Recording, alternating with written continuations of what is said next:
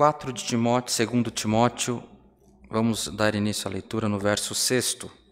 Lemos com a ajuda de Deus e a guia do Espírito Santo. Amém. Porque eu já estou sendo oferecido por aspersão de sacrifício, e o tempo da minha partida está próximo. Combati o bom combate, acabei a carreira, guardei a fé. Desde agora, a coroa da justiça me está guardada, a qual o Senhor, o justo juiz, me dará naquele dia, e não somente a mim, mas também a todos que amarem a sua vinda. Somente até aqui, irmãos. Amém. Amém. Glória a Deus.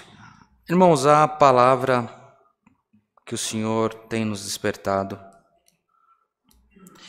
é uma,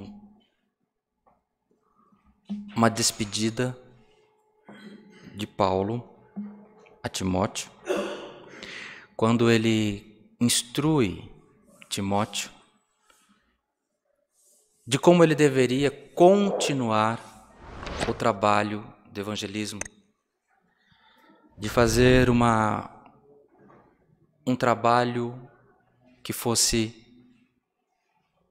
sem malícia, fosse um trabalho sem vício, que ele procurasse falar do novo caminho que era o cristianismo, do Evangelho segundo Jesus Cristo, sem enfeitar, sem querer agradar demais, para que as pessoas viessem pela emoção, mas pelo contrário, que ele falasse a verdade a respeito de Cristo, porque falando a verdade, as pessoas encontrariam a salvação. E ele vai, irmãos, escreve e se despede de uma maneira onde fica muito claro para quem lê, fica muito claro para quem acompanha a Escritura, que ele já está cansado que ele já se esgotou, que já não há mais forças nele. O trabalho que ele tinha que fazer, ele já fez. E ele instrui Timóteo de maneira que ele não desista, que ele continue a missão que lhe fora designada. Que ele continue, porque o Evangelho de Jesus Cristo não poderia ficar represado sobre a força de Paulo, mas ele haveria de ser transferido para os próximos. Porque, irmãos, tem momentos nas nossas vidas que nós cansamos. Tem tempos na tua vida, na minha vida, que você, eu, nós começamos a questionar a nossa inteligência em crer em alguma profecia, em algum projeto que nós confiamos em Deus para as nossas vidas.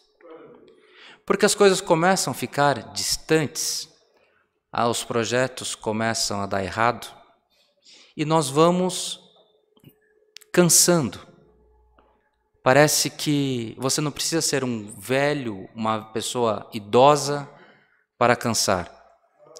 Ainda hoje eu estava indo para um compromisso em São Paulo com, com um irmão nosso aqui, irmão Anderson, e ele estava comentando a respeito de um, um irmão que o Senhor recolheu nos últimos dias, não sei se foi ontem ou antes de ontem, um ancião da outra igreja, que atendia num lugar chamado Jardim Independência, e ele estava me confidenciando, ele falou: "Olha, teve uma vez que eu tinha uns 18 anos e eu tava, eu fui congregar com o Fábio, que é um amigo que ele tinha, e ele falou assim: "Hoje é a última vez que eu congrego, nunca mais vou na igreja". Porque não adianta ir na igreja, não está acontecendo nada na minha vida, está tudo dando errado. E falou que ele chegou tarde no culto e os irmãos que orientaram ele falaram assim: ó, vai que tem um lugar lá na frente para você. Ele foi e sentou no segundo banco atrás do ministério. O irmão que o senhor recolheu estava atendendo aquele culto, ele só tinha um dedo na mão, tinha uma mão com um acidente. falou que lá para as nove tanto ele falou assim, ó, a igreja já foi alimentada, a palavra já foi anunciada, agora eu vou parar o culto, que eu preciso falar com duas almas que está aqui na igreja. E falou com aqueles dois jovens que falaram que ia ser a última vez que ia na igreja. E pregou a vida deles e anunciou a benção e anunciou tudo o que haveria de acontecer. Para um deles falou assim: Você está desanimado, mas você vai cruzar os oceanos, porque é da minha vontade te abençoar. Passou menos de um mês, o moço trocou de emprego viajou naquele ano para mais de 20 países. Mas eles estavam cansados. Eles estavam cansados, a força estava faltando, eles estavam desistindo, mas a força de Deus é maior do que a nossa força. Também, irmãos, hoje ainda comentei no grupo nosso de WhatsApp da família a respeito da evangelização, da conversão de uma pessoa que nós tivemos a oportunidade de conviver com ela há uns 20 e poucos anos atrás. E ele era uma pessoa pública, ele é uma pessoa pública. E quando eu convivi com ele, eu era muito jovem, mas eu percebia que ele era uma pessoa inquieta na, nos assuntos de, de cristianismo.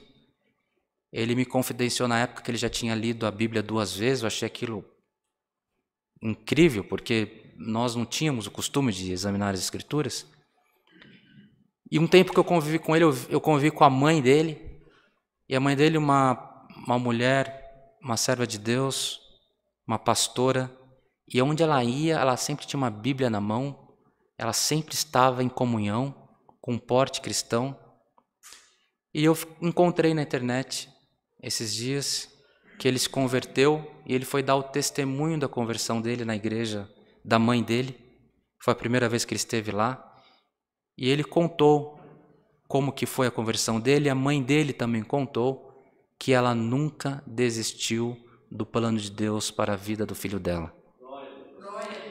Então, irmãos, a palavra do Senhor para nós, que o Senhor tem nos despertado, a respeito dessa insistência de Paulo com Timóteo, é que você pode estar avançando, a tua força pode estar se acabando, ou já pode até ter se acabado, pelo tamanho da tua prova, pelo tamanho da tua aflição, pelo tamanho da tua dor, pelo avançar da tua idade, mas o recado do Senhor para você, para mim nessa noite, para a nossa irmandade que nos acompanha pela internet, é que a terra que parece que está seca, que você parece que tudo que você plantou não deu fruto, mas tudo aquilo que você semeou com lágrima, você vai colher com alegria.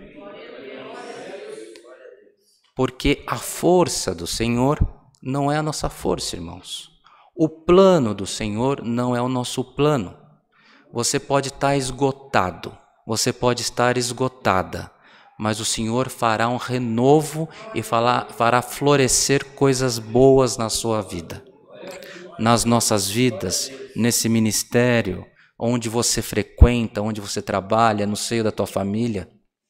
Porque quando, irmãos, o projeto do Senhor chega, ele chega e resolve. O Senhor ele tem o tempo dele, mas o tempo dele chega e a obra é completa. Você foi despertado, despertada para um projeto aonde você não está encontrando motivação para continuar.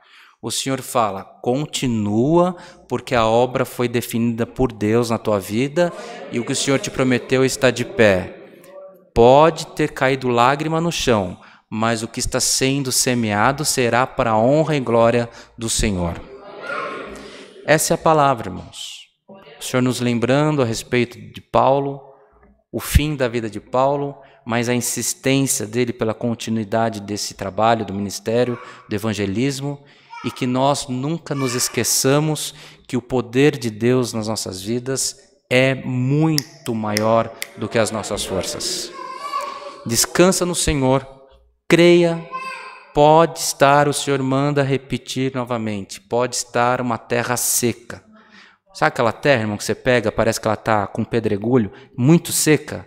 o Senhor vai fazer brotar coisa boa nessa terra aí. Receba essa palavra como vinda de Deus e que por tudo nas nossas vidas o nome de Deus seja sempre louvado. Amém.